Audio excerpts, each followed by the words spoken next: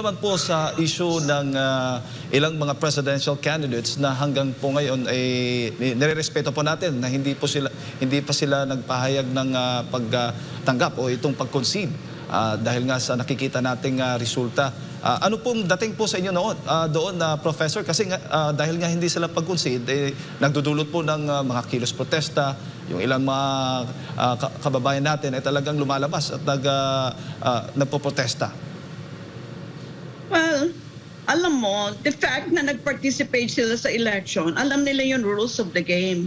The rules of the game declare that whoever gets the highest number, whether it is a simple majority or an absolute majority, wins. At saka ako, naglamay ako nung uh, the night after. I heard her very clearly. Robredo said, tinatanggap. I don't know, i-content analyze mo yung sinabi niya. She used the verb, tinatanggap. Okay. Hindi ba nag-concede na yon? No? At saka she herself said a few years ago na, you know, pag talo ka, tanggapin mo. O Yes. bakit ngayon? Parang iba na naman yung tono niya. You know, hindi naman po, you cannot change the election results by running in the streets. Tapos Yes. bibit-bitin mo yung madre mo at saka mga pare, ano, and ah, hindi ka pa magpapasok sa klase. Sino naman sinasaktan mo? Di sarili mo. Oo, diba? Oo.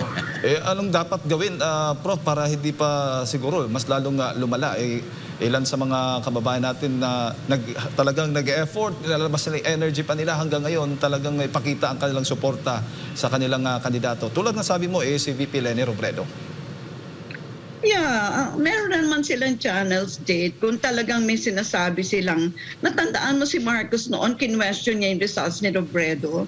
Di ba nag-file siya dun sa PET Yes. ganyan dapat. Meron naman channels for ano eh kung kung uh, meron kang allegation ng fraud di ba na merong dayaan etc pero nakita mo naman how quick the transmission of the of the results were Yes. and even the former commissioner Guanzon said Yes. that 99.9% ay talagang ang integrity ng mga machines cannot be denied. Yes. So, ano pa, hindi ba hindi ba sila bilib doon kay Guanzon, naka-alyansa din nila?